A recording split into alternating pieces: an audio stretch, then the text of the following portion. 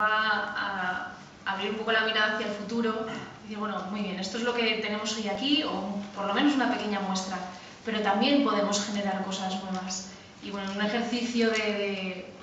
a través del pues, conocimiento que él tiene de la isla, de los retos a los que se enfrenta, de las oportunidades,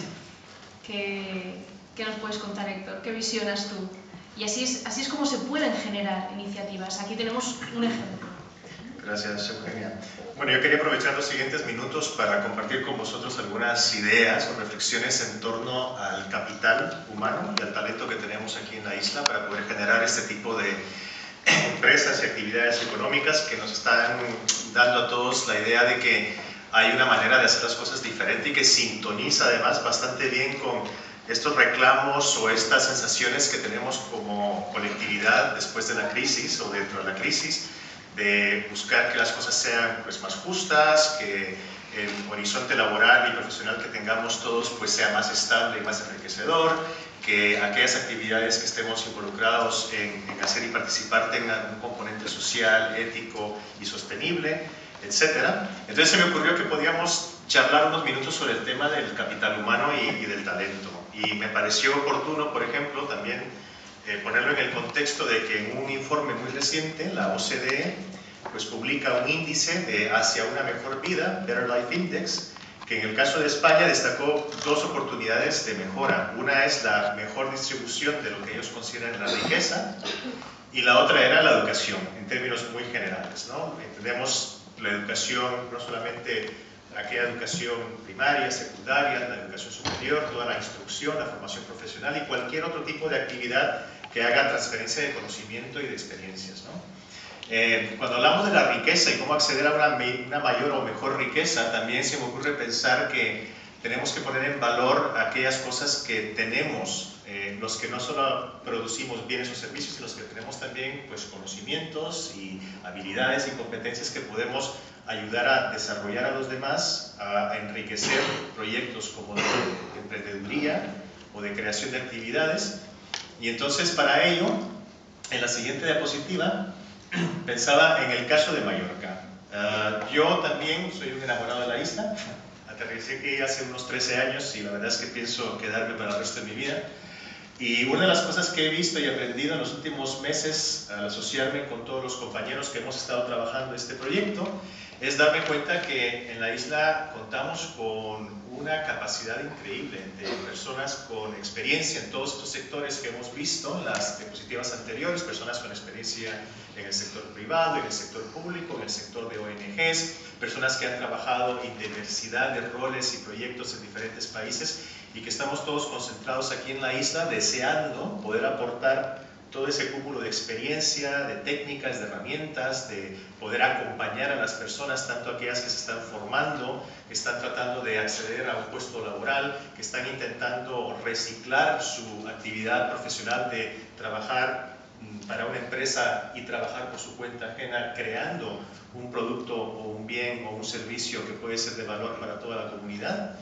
Y también sé, me consta que hay una tremenda demanda de ese tipo de conocimiento, de actividad. Y el problema, que está un poco representado por, este, por esta foto, es que la oferta y la demanda no están llegando a conectarse de una manera por lo menos que sea eficiente, eficaz y que realmente esté dando pues, una mayor satisfacción tanto a las personas que estamos deseando compartir esta riqueza que hemos acumulado en décadas de experiencia profesional como aquellas que lo están necesitando para poder mm, entender cómo situarse dentro de una economía que ya ha roto con muchos paradigmas. O sea, aquellas ideas que teníamos tal vez mm, mi generación, incluso una generación después de la mía, que era que vamos a acceder a un puesto de trabajo que afortunadamente será fijo, que será duradero y que nos va a permitir incluso jubilarnos en la misma empresa, bueno, eso, esa realidad ya prácticamente no existe y hay un colectivo muy importante de personas que por edad y por género y por otra serie de condiciones, pues por lo menos eh, seamos conscientes de que esos puestos de trabajo tal vez ya no van a estar disponibles. Entonces, ¿qué hacemos con esas personas, con ese talento y esa capacidad? Tenemos que poder encontrar maneras de unir esa oferta y esa demanda para poderles eh, acompañar y para poderles ayudar a crear valor. Pensemos que en la economía nosotros estamos poniéndole valor continuo a las cosas que compramos, que producimos, que intercambiamos, bueno, pues la experiencia y el conocimiento es un valor que tiene que estar mucho más potenciado. Y ya por último, para ponernos un ejemplo de uno de los conceptos que se manejan mucho dentro de esta economía del cuarto sector, bueno, las empresas que, se identifican con el cuarto sector hablan mucho de, una economía de beneficio, for benefit, y se refieren a, un beneficio que va mucho más allá, por supuesto, del beneficio económico. Hablan del beneficio social, del impacto positivo en el medio ambiente. Eh, esa economía de impacto también se ah, articula dentro de un concepto que es el de la megacomunidad. Y una megacomunidad, para el caso de este ejemplo concreto de la educación, la enseñanza, la formación profesional, pensemos que es como que si en esta sala tuviéramos la oportunidad de identificar a todas aquellas personas, instituciones, sectores que tienen una voz y una capacidad de actuar sobre cómo mejorar y potenciar y enriquecer esa experiencia de la enseñanza y la transformación a través de la educación y la formación y que pudiéramos hacer pues un listado de todas aquellas cosas que nosotros creemos que son ahora necesidades a corto, medio, largo plazo, aquellas cosas que pensamos que son retos y dificultades y cómo resolverlos y aquellos recursos que necesitamos para poner en marcha esa actividad y que entre todos estos interlocutores pudiéramos consensuar, pactar y llegar a un acuerdo para poner en marcha medidas muy concretas por un límite de tiempo y que tuvieran un efecto muy positivo y muy medible en aquellas personas que son el, objetivo, ¿no? esta colectividad. Y entonces pensamos que hay cosas que se están haciendo, por supuesto, pero quizá tenemos que darles otro tipo de, vuelta para que sean más conocidas o que haya más personas que puedan participar que todavía no están incluidas en ese concepto de la negra comunidad. Pero eh, creo que, bueno, eso es un pequeño esbozo solamente para decir que en la isla existe una capacidad para poder hacer cosas muy enriquecedoras por parte de las personas hay una necesidad muy amplia de personas que necesitan y quieren poder adquirir ese tipo de herramientas para poder luego ofrecer y aportar ese valor. Y de parte nuestra, pues estamos muy abiertos a que nos deis vuestras sugerencias o que si queréis sumaros a este tipo de esfuerzos, pues ya al finalizar el, coloquio, pues estaremos disponibles para poder tomar nota o nos dejáis vuestros contactos para seguir eh, charlando de esto. Muchas gracias esto es una de las cosas que podría pasar en Mallorca, pero, pero podrían pasar muchas más. ¿no?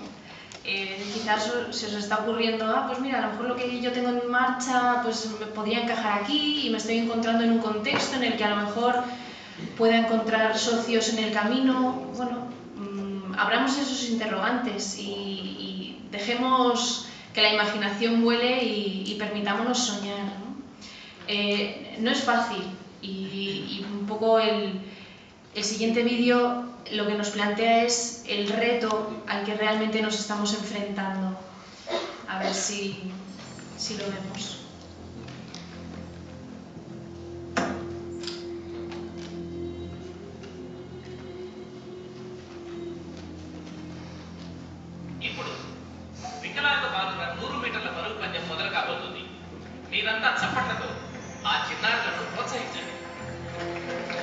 The next event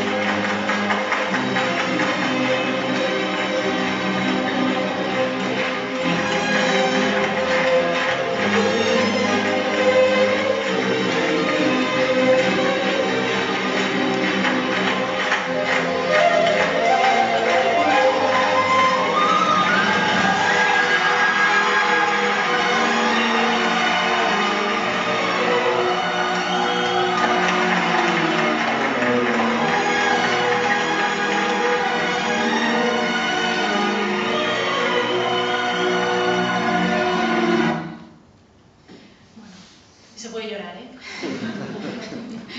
es muy emocionante este vídeo, no sé para vosotros, pero no hay ninguna carrera. ¿no? Un poco el, el reto al que nos enfrentamos y el desafío que tenemos entre manos es justamente cada uno con nuestra propia discapacidad, porque todos la tenemos, igual que nuestras capacidades, eh, cómo vamos a hacer ese camino. Y la propuesta desde el cuarto sector es bueno, parar, mm, recoger, a los compañeros por el camino y hacer ese camino juntos. pero como decía Jorge, uh, otra de las de los impulsos que, que tira adelante el cuarto sector es nuestra intención de materializar y de ofrecer aspectos muy, muy, muy tangibles de cosas pequeñas o más grandes que se puedan hacer desde ya. Ah, no queremos excusas, sabemos que no las hay, que solo nos las ponemos nosotros. Y aquí os queremos ofrecer, mirando en un plazo de dos, tres meses, vista, qué cosas hasta el 4 de septiembre, ya explicaremos por qué, el 4 de septiembre, qué podemos hacer nosotros a partir de ahora. Si algo de lo que hemos visto aquí, algo de lo que nos ha llegado, nos ha tocado, bueno, siento la necesidad de moverme eh, con esto, o, de hacer camino con esta gente, eh, o de juntarme con otros y hacer un camino parecido, ¿qué es lo que puedo hacer? Bueno, tenemos en marcha eh, realmente Eticentre y, y, la Cátedra Bancaja de la UIP uh, un concurso de ideas que publicitaremos, si ellos no lo han hecho ya, que no lo sé, las bases, un concurso de ideas de innovación social. Eh, pues con la idea eso, de fomentar nuestra creatividad y de darnos el espacio para soñar y materializar esos sueños.